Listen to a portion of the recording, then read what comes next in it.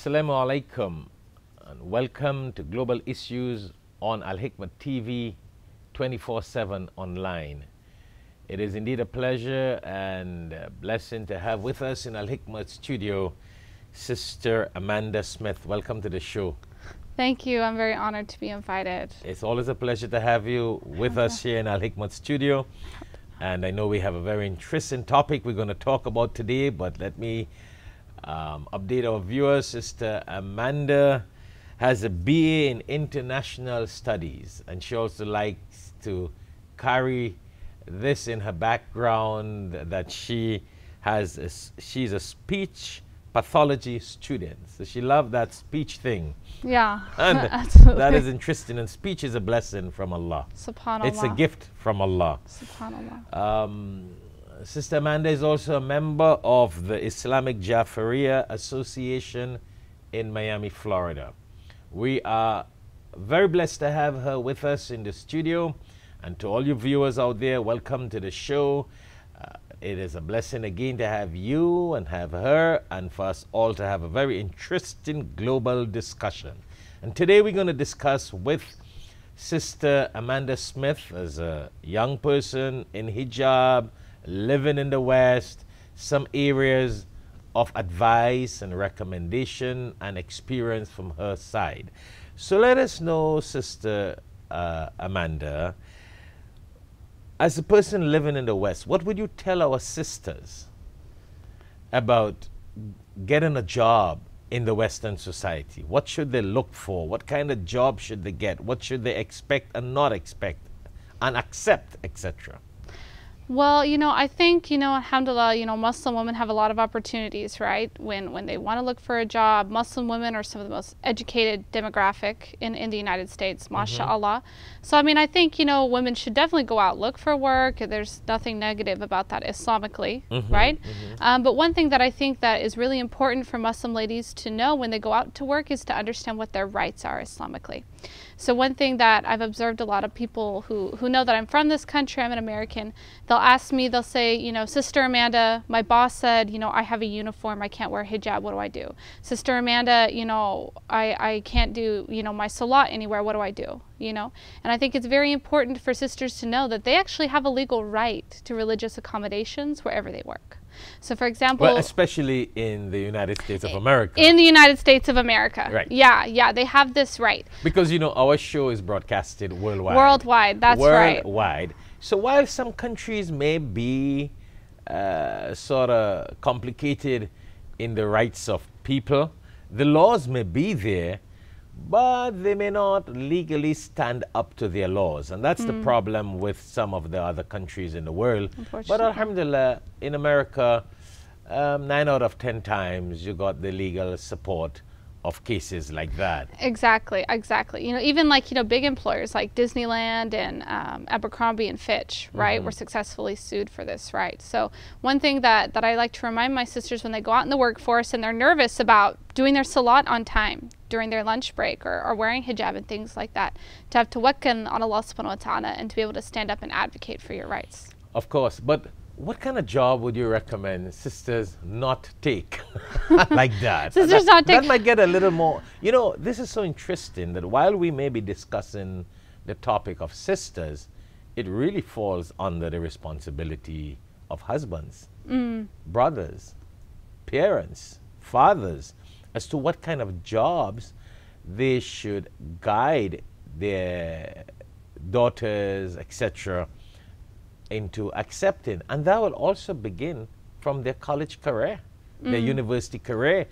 Unfortunately, you send this person to college to study one thing, only to realize later on the kind of job that they will get for what they have studied is not applicable and it's mm. not practical for or realistic for a practicing Muslim. And I've seen that, Sister Amanda. People go to college, university, take this phenomenal degree in a very unique field. Then later on, they get married. They become religious, only to realize that career and that um, education that they spend their life studying leads them to a job that does not fit the life of a married person or a practicing Muslim. What do you, what kind of job? I would, I'm, I'm not putting you in a spot, but I mean, but I'm just looking at so many of our sisters, like a lot of the work that our sisters do. So, for example, we have a lot of Muslim doctors, right? A lot of Mm-hmm. female doctors. I mean, that's definitely a difficult schedule, but if your spouse is willing to work with you, then go for it. I know as a hijabi, I definitely prefer to go to another Muslim doctor. Right, because I know that my standards are going to be Mm-hmm. understood. There's not going to be a male just invited into the room, Mm-hmm. you know. Um, so I, I would encourage sisters, you know, whatever job that is going to fit with their standards, to think about that before they go into something. But the only thing I'd so really advise medicine is definitely not a problem. Medicine is great that. is great 'Cause you have the yeah, choices. Absolutely. of what limits you can go with, except in emergency cases. Now, there Mm. are emergency cases where you have to do what you have to do, Mm. and the health condition and the Islamic laws, of course, permit certain times of emergency need um, that uh, a male or female doctor can interact. But if it's not like emergency cases and you have choices, we, we all know that. So we're not talking about that. Yeah. We're not talking about emergencies. So we just want to make sure you viewers don't start thinking about emergencies and a life and death situation. That is all covered. So we have no problem with that. We're talking about a job, choices, etc. Exactly. I mean, the only thing I would tell my sisters is don't feel like just because, let's say, you live in the United States and you're a minority and you're struggling to feel like you have to choose a job that violates Islamic standards, right? So don't feel like that, you know, you have to choose a job where you're selling alcohol. You know, if you're able to work and, and you know, s- try to find other options out there, and there's a lot of other options out there that mm-hmm. are ahead halal, right? Don't sell yourself, right, to get money here in the dunya. So unfortunately, I've seen a lot of sisters feel like they, they have to go take jobs in stores and things where, where they're selling alcohol, right? You want- They have to work for, for organizations that exploit women, unfortunately. Um, and no, we, we don't have to do that. We have our standards. And, and one thing I think that's important to remember, despite the pressures and despite the difficulties of living Islam in this country, is that Allah subhanahu wa ta'ala is khayru raziqeen. He's the one who gives you your rizq. No, but do you want to be a little more specific in jobs? I know that might put I a mean, few of I- our I don't really like- it'll put a few of our sisters on a little, a little uh, mental stress there. But for example, what do you think about a, a Muslim sister um, taking a course in massage? Yeah, and that that's a tricky thing, right? You could only have female clients. Yeah. Um, you would have to do it, you know, in an area where where you're also be able to maintain hijab if you have to roll up Mm-hmm. your sleeves or something like that. Um, and you also have to think about what type of massages you're going to do. Even though it's with another sister, it's still going to be uncomfortable. There's still levels of modesty Of even course, between because sisters. of what exists nowadays in the world, the reality of Yeah. what exists. yeah. Exactly. So I mean, that's gonna that person. You you need to think about these things before you jump into A- and that's why like you that. know uh, you know myself discussing this with another brother will not necessarily go down well with sisters but you as a young american muslim living in the west they're coming from you is a whole different perspective so we're talking about if a sister learns proper physical fitness and she has to work in a gym for example she should be training ladies Yeah. you know. exclusively. And then be careful, right? Even about how you, you wear your hijab in a gym. Because when you're moving and, and move, you know, exercising around, you might be covered, you might be loose, but, you know, your clothing doesn't stay in course. place. Definitely. You know? Yeah. So that that's a very difficult thing. and that might just be total exposure in a whole different style. No, Yeah. Mm. but but these are the things, Sister Amanda, that you know you you grooming your kids, you're teaching them Quran, you're teaching them to pray, and then suddenly they go into a career that does not fit into their Islamic lifestyle. I mean, yeah, they may think, well, we're living in the West, we should feel free to do whatever we want. But it's not about living in the West, it's about doing what is right. And there's so many other things that a person can do. And I really want to get down into a topic with you today on this mm. show of people getting married young. Mm. Yeah, you, you see my point. Getting Yeah. married young, choosing the spouse, some of the benefits of getting married young, girls and boys. And it's not about girls alone because the girls will get married to a boy and both need to work together with compatibility. So a little bit on the job. What are the job you see that that that is not that is recommended but not practical in all 100% as you see going on. There should be limits, there should be restrictions. So we talk about the gym, we talk about massage. What else you see out there? You spoke about alcohol. What about dancing? Oh my goodness, especially in Miami, right? That's definitely not not No, a type of job that you want. Yeah, but that's things that something. It's a very serious issue here. You right? study dancing Yeah. in school. Now you got to teach people dancing, and then you get married to a practicing Muslim. what happens here? Your whole career and studies go down the drain. I mean, the only you would have to just teach only Muslim sisters in a closed environment, right? And, and, and, the then, teaching of the Muslim sisters now of dancing is not to go on stage and dance for other men. You can teach them to dance for their husbands.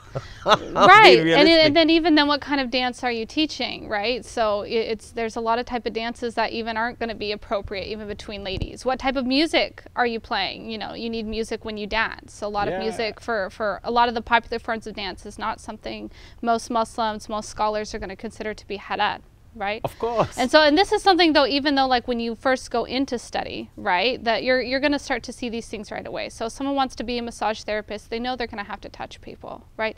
If someone wants to go in and be a dancer, they they're going to know that they're going to have music around. And a lot of it's stuff that's not going to be halal. That's just the reality of the era that we live in, right? Um, and so, I think one of the key things is is to think about Allah subhanahu wa ta'ala when you're making your life decisions, right? Your career. To remember where your end goal is. Your end goal in life is not to have a big, wonderful career and then die and have nobody remember it, right? Mm-hmm. But that's the reality. If you focus on your career, then that's all it is. It's gone. As soon as you're gone, it's gone. It's nothing. But if your remembrance, right, is that the point of life is akhirah, right? And you work towards akhirah, the job you pick is something that's going to bring you towards akhirah. A lot of these issues, I feel, will solve themselves. And that's the, the, the, the million dollar question, as we would say. Um, it's not a matter about the massage or the, the gym. We don't want, want people to think we are narrow minded people, but we are think, you got to think Islamic. Yeah. Nothing is wrong in dancing, but providing you're dancing for your husband, not in a public the right show. time in the right, right place. place. Yeah. Y- you see what I'm saying? Mm-hmm, Uh, uh, and the reason why we're talking about these things, these are some of the things that it gives an imbalance because on one hand you want your daughter to be the best of practicing Muslim, but you send her to dancing school. Yeah, okay, you want her to keep fit, but what is going to happen when she gets she wants a job to be a dancer? Mm-hmm, to mm-hmm. teach dancing. Mm-hmm. You know, and there are many other things like that, and we really don't want to sound negative, but I see these things affecting marriages later on. And the reason why we're talking about this, Sister Amanda, because I want to talk to you today about your your pick on and your recommendation to sisters and parents, etc., on early marriage mm. or marriage under at the right time, marriage with the right person, because that's important. You can marry the right person at the wrong time, mm-hmm. Mm-hmm. and that could lead in divorce. And you can marry the, but marrying the right person in the right time is important because you may marry in the right time but the wrong person from a cultural point of view. Mm-hmm. And we see this happening in a lot of Muslim countries. And then people attack marriage and say, oh, because you got married young, that's what happened. But maybe you married the wrong person. Mm-hmm. And, and that's where the balance comes in Islam because Islam has guidelines. So as we get into those things, a little bit about, you, you, you were talking about the hijab. Mm-hmm. What about the hijab? And girls feeling comfortable out there in wearing hijab, you know, before we get into the marriage I know a lot of my sisters, you know, they're they're really intimidated by it. So right, so not only you know, there's a lot of sisters here who don't know they have the right. Even if they know they have the right, the reason that they don't wear it or they're nervous about wearing it is because they're intimidated to wear it, right? Um, and so one thing that I also like to tell my sisters who um, maybe are immigrants here or less familiar with with um, American culture is to understand that yeah, there's a lot of bigots out there. You know, there's always going to be one person who's going to have an issue and pick a fight. But at the same time, for that one person who, who's a bigot, there's 10 other people who are going to look at you and are going to be curious, right? You do dawah. When you go out dressed this way, you know, you bring attention to Islam, you get people thinking, right? Mm-hmm, Another thing mm-hmm. that I'd like my sisters to understand is that American culture is, is a highly individualistic culture, right? We are not a communal culture really compared to, to a lot of other societies by any means, Mhm, right? We love rogues. We love people who look different, who dress different. And if you look at a lot of the people that in American history who are idolized, our greatest heroes were a bunch of rebels, right? Yeah. They they overthrew the British government because they didn't want to pay taxes, you Right, know? right. Um, if we look at some of the big the big figures in American history, the big figures in pop culture, a lot of them in some way or another are breaking the status quo, right? If anything, the status quo in American culture is to break the status quo. We love it. We love when people do that. So when you go out and you are proud and you are strong, dressed in your full hijab or, or you know, however much you want to cover, you know, you actually are, are very American in that sense. And there's a lot of people out there who are going to respect you and are going to appreciate the fact that you're willing to dress differently and to go against the grain that way. Mm. So it's it's an act of strength, and it's it's really you know no reason to be afraid to do this. So while that may be one area of concern, I want to believe that a, lo- a lot of women do not wear hijab. Well, one is because of the Islamic belief as to how much they believe, how much they understand Islam, how much mm-hmm. they understand the Quran, etc. The second thing is beauty. Let's be real. I mean, beauty. As a woman, I want to ask you that question. Do you think, you see, women can be more critical of women than men? women will definitely, well, unfortunately, I like what you said, Yeah. but women are, uh, not, not just more, but women are, technically, realistically speaking, more critical of women than men are. Because men, it's by nature that men may start looking at the, the beauty in women and look at all their education, their whatever it is, and not see the shortcomings. Mm-hmm. But would you believe that man, his mother will see those shortcomings that he didn't see? Mm. His sister may see that. So I, I, I, I- I don't want to put you in a spot here, but we're talking on a different issue. So women normally will find the fine, finest of, of fault in another woman. So from a beauty point of view, what do you think about the hijab and a woman? Does a hijab make a woman? The reason why I went through that nine yards of mm-hmm. the, the, the look and the perspective. Do you think a woman looks more beautiful in a hijab or not? Because I am sure most women do not wear hijab, not so much a fear of anybody and anything. Because, listen, Christians cover their head with veils. Jewish women are very, very, very orthodox Jewish women. They cover themselves. They cover, yeah. There's some who even wear niqab. Yes, Yeah. nuns, they cover their heads. So I don't think it's about a, a, a worldly Western pressure. Many women, yes, there are few who do, and uh, uh, we don't have a problem with that. Many, it has to be because of beauty. You know, in my experience and talk that I hear here and there, what advice can you give to women who suffer that complex of believing that a hijab does not make you look more beautiful?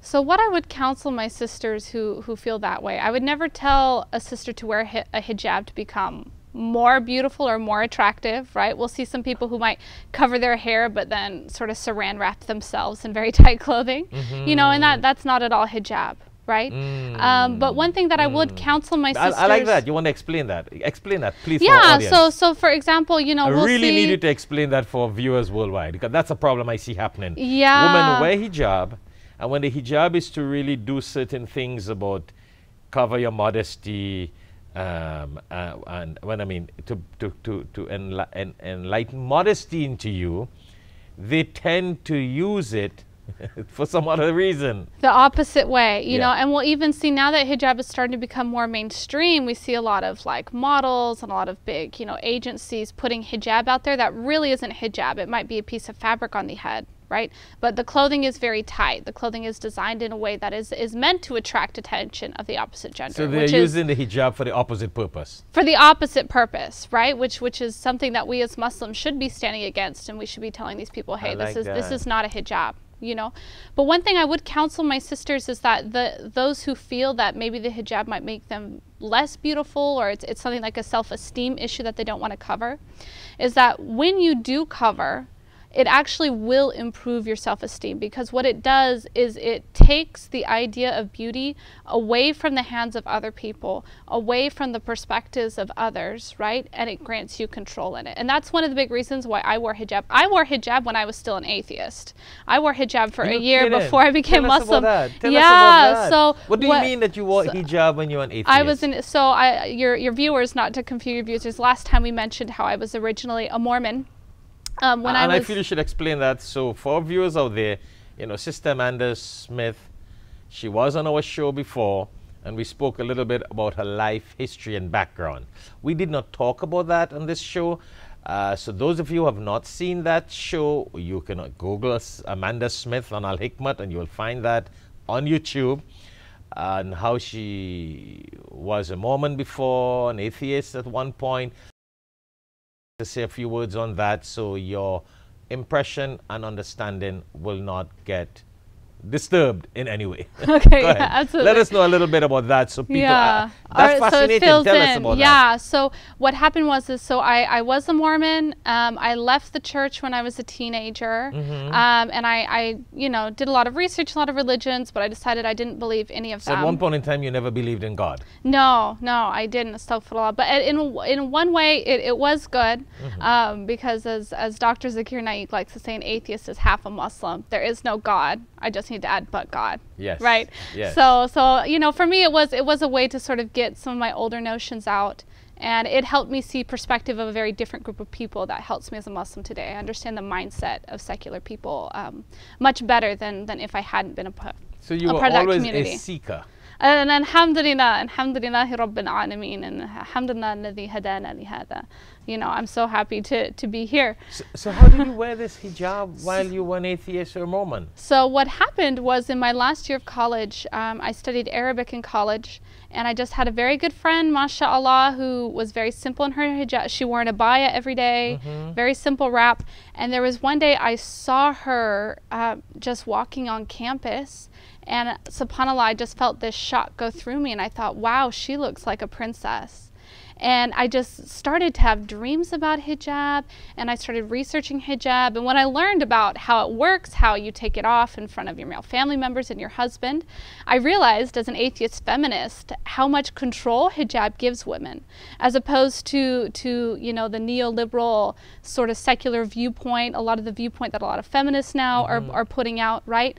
It gives other people so much more control over how mm-hmm. I look when you show a lot of skin, right? I have to be dependent on other people choosing to look away or other people choosing not to use me as their sex object when they look at me, when they interact with me. Mm-hmm. Whereas where when I wear hijab, I take that realm of control away from them making the choice that they should make, which Islam says you should make no matter how a woman's dressed, mm-hmm. right? Mm-hmm. It takes the realm of control away from them making the right choice and I cover and I send the message that hey, this is the way you treat me. And as an atheist feminist, I felt like that was so incredibly power empowering. And so I actually started to cover. I covered for a year before I took my shahada, um, and it drastically improved my self-esteem. So I used to think I was very fat. I was about the same weight that I am now. Um, and I realized I was just wearing clothes that didn't fit me very well. You know, clothes that, that were too tight because that's what the style is. You need to show so much, right? But really, that your body isn't really meant to be that way. You're not meant to be wearing tight clothes like you're wrapped up in, in plastic wrap. Yeah, know? yeah, yeah. I sometimes always wonder how do these people move around with these tight clothing? You can't. how do they even get? How do they? How do they even get into an aircraft toilet? That is, uh, that's a nightmare. It's difficult. It's difficult, so actually. why do they stress yeah. themselves out, only to let the world see them, thinking that it's something nice when it's so uncomfortable? So you know, coming from a person like you, an atheist feminist, falling in love with hijab. Wow, I mean that's an interesting message to a Muslim woman. And I'm sure when you saw that woman in hijab while you're an atheist, you see, we don't want our viewers think, oh, yeah, a Muslim woman telling you about hijab. It could be bias. Mm. But here is an atheist feminist looking at a woman in hijab and just fell in love and think that she looks like a princess.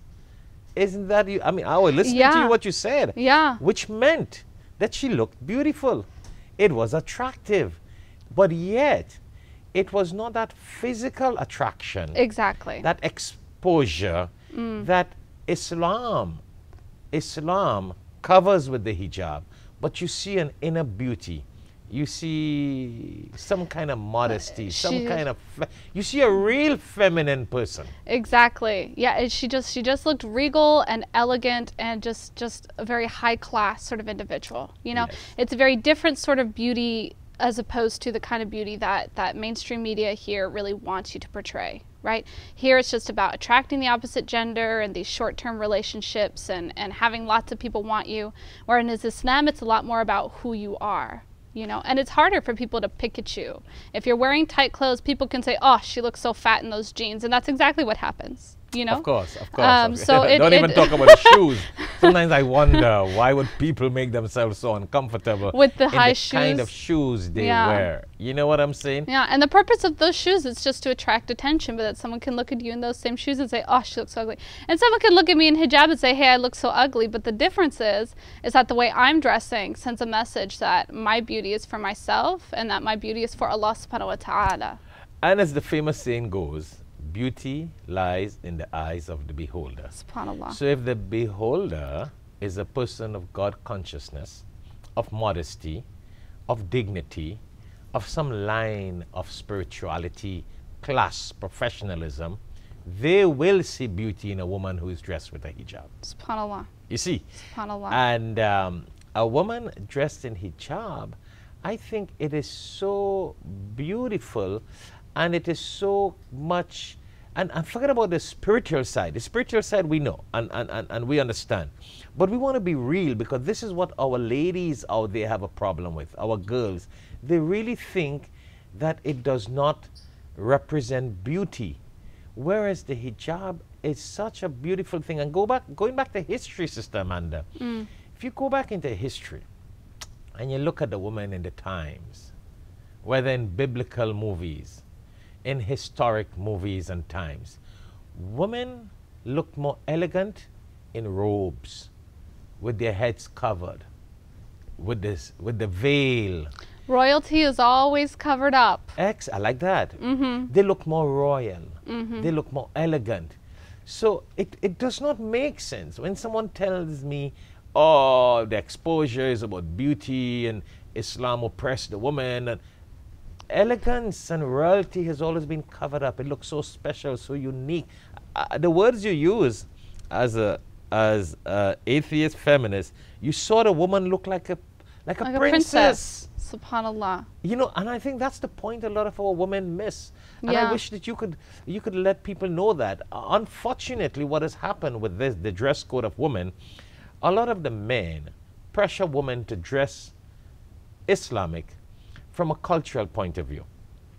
Really from a kind of selfish point of view, from a kind of covering up point of view, from a kind of forceful point of view. So the women now, as human beings, they rebel by not wanting to dress like that. Mm. But in any language, any country, if a woman is really told about the modesty, the beauty, the princess look, the royalty look in dressing with an Islamic wearing, and, and well, let me put it like this, an atheist feminist will want to do that. Yeah. I like that. Yeah, and I'm not the only one. There's actually a lot of non-Muslims out there, women who have started wearing hijab. Uh, and that's why that uh, exact uh, thing. what you have just said, mm, you know, that is so valuable to a Muslim woman in the world there, that if a Muslim woman dressed in Islamic garb could have attracted an atheist feminist, why won't it be beautiful and attractive to a Muslim woman? Subhanallah. Inshallah, you know, I pray that it gets easier for women who have gotten tricked into thinking that they don't need to wear it, that they don't want to wear it. Um, and then those issues of self-esteem, when shaitan whispers to you, oh, you're going to look so ugly, you know, inshallah, I pray my sisters have the strength to overcome that because there's so much ni'mat that comes from following the laws of Allah subhanahu wa Of ta'ala. Well, Sister Amanda, we have been speaking for almost 25, 30 minutes. Subhanallah. So, so we got to go on a short break. When we come back, and I want to let the viewers know that when we come back, we want to touch this marriage at a young age. So we're touching some interesting topics because men talking these things is what people hear all the time on the mm-hmm. sermons, on the lectures, You, you see what I'm saying? So mm. women and boys and girls and young people think, oh, this is a hardcore sheikh or imam giving you that message. Or my radical parents. But hearing it from a young girl like you, a young person like you, in hijab, living in the West, I think your message to our sisters, our parents, and our people out there in the West, and even in the East, because a lot of people in the East are now following this pattern of the Western world in delaying marriage, procrastinating marriage. Mm. So I want to hear from you, and I would like you to share with our audience what are your recommendations, what you think, what is your experience in talking to other women out there as to when is the best time to get married. Inshallah. So stay tuned. When we come back after the short break, we'll be talking to Sister Amanda Smith on marriage in the right time. Thank you very much. Assalamu alaikum wa rahmatullahi Assalamu alaikum. Allah gives hikmah, wisdom to whomsoever He wills. And whomsoever is given wisdom is certainly given a lot of good. Only the people of understanding will benefit from the reminder. Tune in to Al Hikmah TV for khutbahs, lectures, and Islamic reminders. Assalamu alaikum wa rahmatullahi wa barakatuh. Assalamu alaikum and welcome back to Global Issues on Al Hikmah TV 24 7 online. And once more, it is indeed a pleasure and a blessing again to have with us in Al Hikmah studio, Sister Amanda Smith. Welcome to the show. Thank again. you so much. I know we had an interesting conversation before we went on the break. I hope we don't have some critics on that dancing and gym and massage thing, but that's the reality. That's why like we that. are on the show so people can benefit, get some guidelines, and rather than waste their life in the the wrong way and Absolutely. misunderstanding, they can sort of program their life and plan things in a more professional, progressive, and realistic way within the fold of Islam. Inshallah. So, as we promised our viewers before we went on the break, marriage in the right time. What do you look at marriage in the right time to be? So one thing that, that I've observed, you know, a lot of masjids, a lot of parents will come to me and they'll say, Sister Amanda, how do I explain to my son or my daughter why they don't have a boyfriend or girlfriend? Or I've even had sisters say, you know, my, son, my daughter has a boyfriend, my son has a girlfriend, they don't want to break up. What do I do? How do I handle this? Right? And so this is something that that's a very big issue. A lot of the youth, especially the ones that are in the public schools, right, are going there. What age are we talking about there? So we're talking about teenagers, wow. right, or even young adults. So like a lot of kids going to college, right? Once they're they're away from their parents and they're a little bit more free, they start falling into this trap. So so parents officially, formally condone and accept the fact that our teenage daughters and sons have a girlfriend or boyfriend? I wouldn't say generally that they're condoning it, right? Okay. But generally that a lot of parents just don't know how to handle it, right? Okay. A lot of parents are coming to me and say, how do I teach my daughter how to do it? How do I convince my daughter that she shouldn't have a boyfriend? She said she loves him. You know, this is something constantly I have parents come talk to me about. But I think there are some who just think it's part of society. There are so, some, which is unfortunate. It's very unwise. So some parents may want to know how to handle it, but what about those parents who think that it's part of society, it's part of growing up, and it's a natural way of life, and they don't see it to be an issue. So, so we're not even talking about them. Oh no, but I mean, but but this is what what I think is really important for mm-hmm. people here um, who who didn't go through the public schools here, right? Mm-hmm. And so don't really understand what the dating model is in mm-hmm. American society, right? And I feel like if that's understood, then it's much easier to understand how to to really combat this problem amongst our youth right? Mm.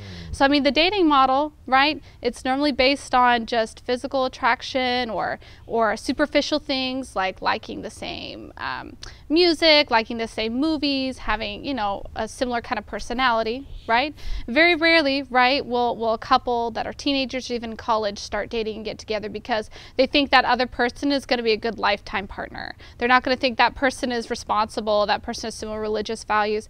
In fact, it's actually seen as a very bad thing. So if someone, if a boy and a girl in American culture start dating and getting to know each other and one of them asks hey you know what do you think about children do you want to have children in your future that's seen as very scary right and that's something a lot of americans will see as a red flag and go running Whereas in the Muslim community, the way we typically go about marriage, that's one of the first things you ask, right? Mm-hmm. It's important. Do you want to have children, right? And that's that's for you. That's a perfectly normal thing to ask the But first time you meet. You know. But that's And- natural. And, it's it's natural, but and it makes sense because that's practical. Because our goal is is marriage. Is the practical aspect there. Mm-hmm, Um, so a lot of people they don't understand, right? That it's starting off this way, and that even though in the American mindset the intention is to eventually find their lifetime partner, their model takes many many years to go about it, and the primary focus of that model is just to decide whether or not you love that person. A lot of people were really influenced by Disney movies and, and popular culture that says that you're in love, everything is going to turn out all right, and there won't be any problems, and you're going to live happily ever after. Mm-hmm. And so a lot of our young teenagers and a lot of our college students will worry more about, hey, do I love this person? I love her, let's make it work, or I love him, and we're going to live happily ever after, right? And it's not until, say, you know, years and years and years down the road, right, where someone's going to realize, hey, this person actually is really bad with money. This person is very irresponsible, or or this person has different religious values from me. There's no way we could, you know, spend an entire life together. There's no way we could have children But do you think the young people figure those things out when they're in love? when they're young, right? When you're young, it's very easy to get wrapped up in that and not be able to see the long term, you know? And so what's important is actually to explain to our kids. and that is what love is blind means. That is what love is blind is mean, and it's really difficult. And that's why there's a lot of hikmah in Islam when people will look at Muslims and say, Why do you separate the girls and the boys so much? Right? Mm-hmm. It's to protect the boys and the girls from that natural blindness that's going to occur. What I personally think is that Allah subhanahu wa ta'ala created that so that way if we're married in the Islamic fashion, those new marriages when we're getting married, you know, early, when we're getting married when we're when we're baligh, right? That you're going to have that really strong bond to start with and grow together with this very strong bond. Mm-hmm. Whereas in the American dating model, after a while, that initial very strong bond that you're going to experience when you first interact with somebody is gradually going to go away. And after a while, as the years go by and you've been burned and you've broken up with this girlfriend and that boyfriend over and over and over, gradually that initial strong bond feeling you're going to have will disappear. So many a times, many a times, what happens in these um, marriage dating style, because a lot of time the purpose is about marriage. Sometimes not. and the dating is all about marriage or not marriage. But what happens is not about a ma- marriage of two people coming together to produce a family. It's about two career com- careers coming together. It's about jobs.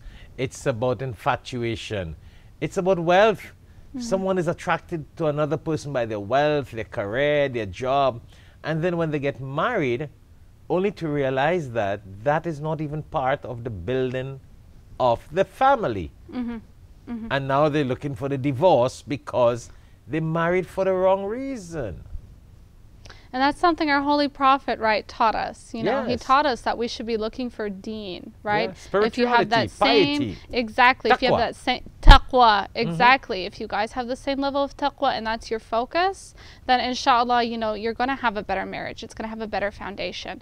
But, you know, this problem of of dating and just, you know, getting involved with the wrong person or getting attached to the wrong person too early, right?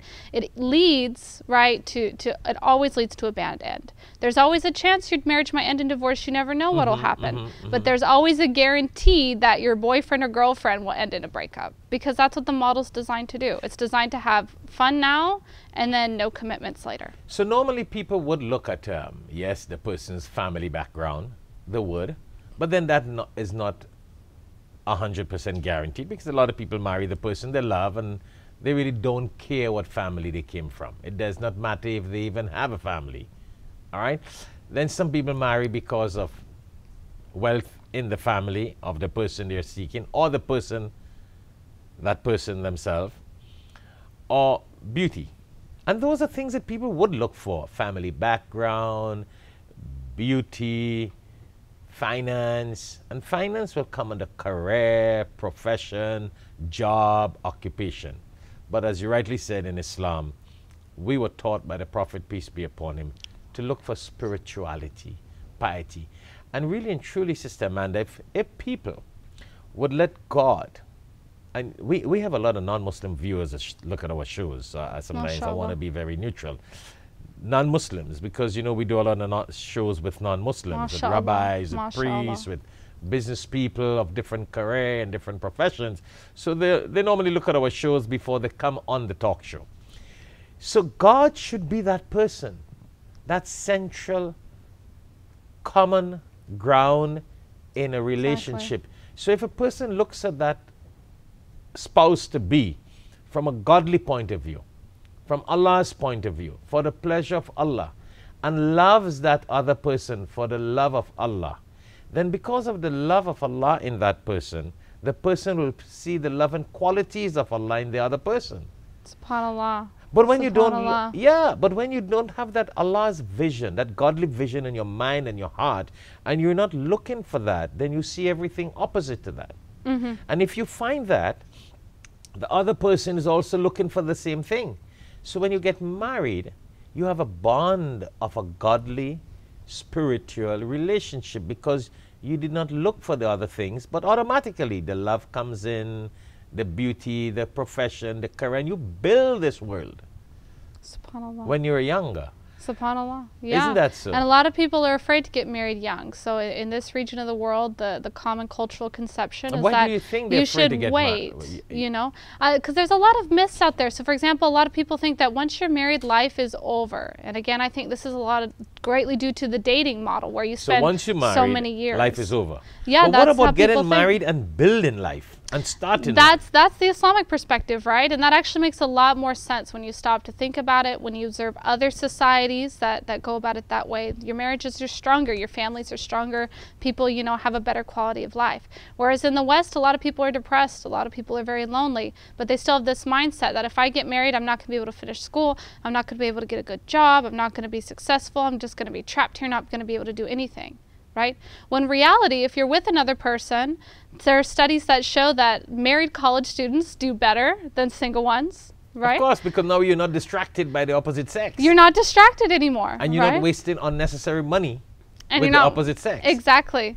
Exactly. And you have a support system. You have that stronger support system. You have your human needs filled. We need companionship. Of course. So allow yourself that need. Fill yourself your need. So you don't have to look for that companionship. you don't have to look for it and end up in bad relationships that were based on superficial things, right? I like that point you made. You know, you know, a mm-hmm. lot of girls when I ask them why aren't you married, they say we have not found the right person.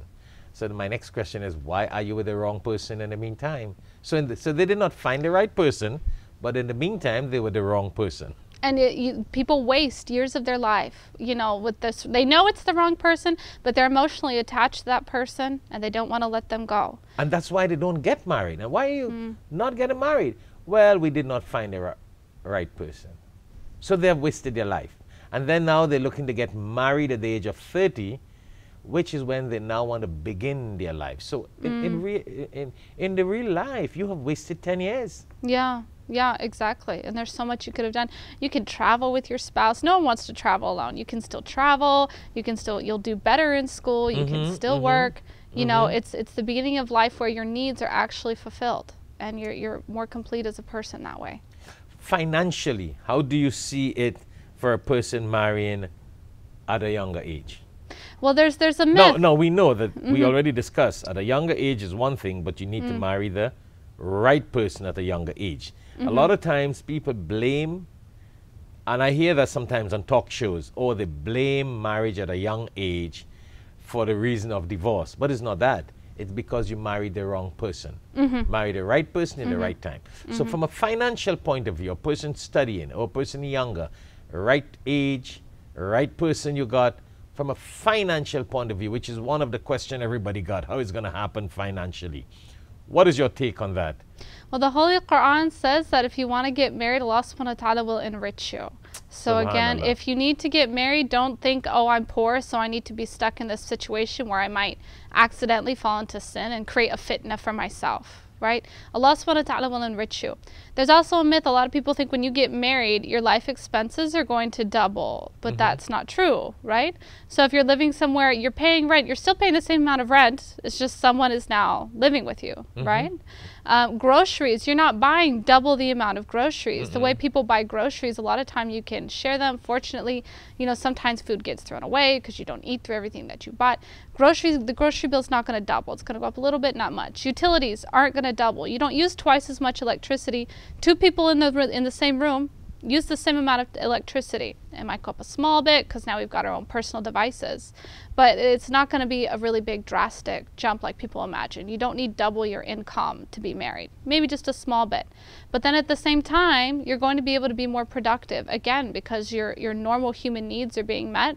You're going to be more productive. You're going to mm-hmm. do better in school. You're going to do better in work. You're going to have a support system. You're going to have an easier time finding a job. Your network doubles. That's the one thing that Your does double. doubles, your yeah. network doubles. And you have companionship. yeah, You're happy. exactly. You're happy most of all. You're so happy. You're relaxed. You have you, you have help. You have assistance in each other, and trusted assistance because you have that compatibility and you're relaxed and you you go to the restaurant. One meal will be enough to share. You can buy Exactly. a variety of things and not waste. So financially, we see it even working out Subhanallah. if a person gets married younger to the right person. Subhanallah. Yeah, there's no reason to unnecessarily delay it. Absolutely. No reason. So None. y- you would have been wasting life. Exactly. That is Exactly. interesting. And, and last, before we go, I know we got to go. We're on a time countdown here right now. We got a couple minutes again. What do you think of having someone, a neutral person, who could be like a, uh, an advisor, who could do some recommendation for the spouse that a person intends to choose? I see there's a lot of hikmah in that method. So again, in, American culture, that's that kind of method is frowned upon. A lot of people see that as something, oh, immature, you're dependent on another person. But actually, if you really look at how it works, there's a lot of hikmah because it protects you from making decisions based on love goggles. Mm-hmm. You're able to see more clearly. You're able to find out things about that person that they might not show you. So And that you cannot see and that you cannot because see love is blind. because love is blind. So this neutral uncle, auntie, teacher, sheikh, elderly person, more mature, they may see that you can't see. That's what you're saying. Exactly. They're going to see what you can't see, and they're going to be able to investigate for you in ways that you might not feel comfortable yourself. Especially, you know, it's good to Mm-hmm. Have like a that. sister ask other sisters about her.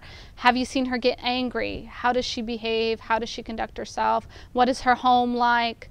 You know, the, these important sort of questions. It's easier for a sister to investigate. Muslims, we do background checks. We actually vet people, you know, a whole lot more than a lot of people would vet their boyfriends or girlfriends. Right? a lot of people aren't going to know about their backgrounds. A lot of people, before they start dating and having relationships with that person, will not have found out how they behave when they're angry. So they're already emotionally attached to someone that they don't know how they act when they're angry.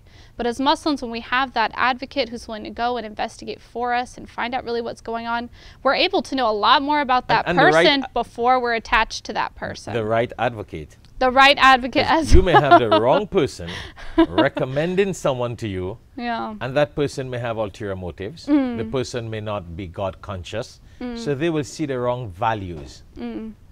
So, what you're saying, if someone sees someone that they like, get an advocate, a middle person who could do some background check on that who's person. gonna see things right the way that you're looking. So, for example, a sheikh is gonna look, you know, Islamically. One of your parents, your parents are gonna know you better than you know you. You know, even me as a non-Muslim, I had uh, my stepfather helped me. I asked his opinion. Are you Um, kidding? Yeah, I You did. kidding? I did, and he was really actually very happy about and it. And of course, he would want to make sure you get the right person. He, yeah, you know, honestly, I think my dad, you know, would have picked for me better than I would have picked for me. You know, because you know he cares about me so much. He's the one who raised me. My birth father has has passed away now. Right, You know, so so yeah, he, he he you know his recommendation, him saying, you know what, this seems like a good guy. I'm okay with it. Did a lot to tell me that I don't have love goggles on. Right, that this is someone who actually is going to be a good person for me, be a good fit because he knows me better than I know me. Interesting. And sometimes you may not be attractive to someone, but the mere fact that, that an elderly person around can tell you the good of this person and all the nine yards about that person, when you see that person, with that in your mind, it builds an attraction and then you start liking the person.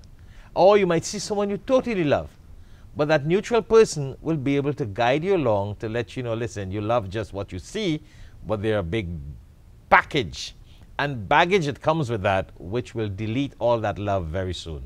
Mm-hmm. So that is phenomenal. That is unique. Thank you very much, Sister uh, so Amanda. Much. It has been fantastic talking to you. Alhamdulillah. And on this show, Global Issues, and I think this is a major global issue anywhere in the world. Absolutely. I know we mentioned a lot about the West and the West, but why we want to mention the West, because these were not the values in the East and the Far East once upon a time. Mm. But unfortunately, the East and the Far East and the Muslim countries are all following this Western lifestyle. That's unfortunate. And it's exactly yeah. the same thing happening across there. Delaying marriage, marrying the wrong person, marrying the wrong time. It is a major disaster in the world, a major Absolutely. disaster. And I think that is very global. Mm. And thank you very much for being on the show. Thank you so much. Thank you very much for the sharing your experience. One thing will not leave me though the atheist feminist that fell in love with the hijab. I think that was so unique. That is such a powerful high voltage message to a woman. It is really phenomenal. Thank you very much for being with us in the show. Again, it was a pleasure Thank being you. with Sister uh, Amanda Smith, who has a BA in International Studies, a sister who's been around and lecturing to many sisters and brothers and communities. She, get, she gets a lot of questions from um, a lot of people there, Muslims and non-Muslims. And as we said, she used that fa fantastic statement, an atheist feminist she was once upon a time, and she fell in love with the hijab. But she loved the Islamic teachings and the Islamic lifestyle. And I think she's an ideal sister to modulate and communicate with some of our sisters out there that will be able to benefit on a realistic lifestyle, especially in the West. Sure. Thank you very much for tuning in. May Allah bless you, viewers. 24 7 online. Keep tuned to Al Hikmah TV. Assalamu alaikum wa rahmatullahi wa barakatuh. Allah.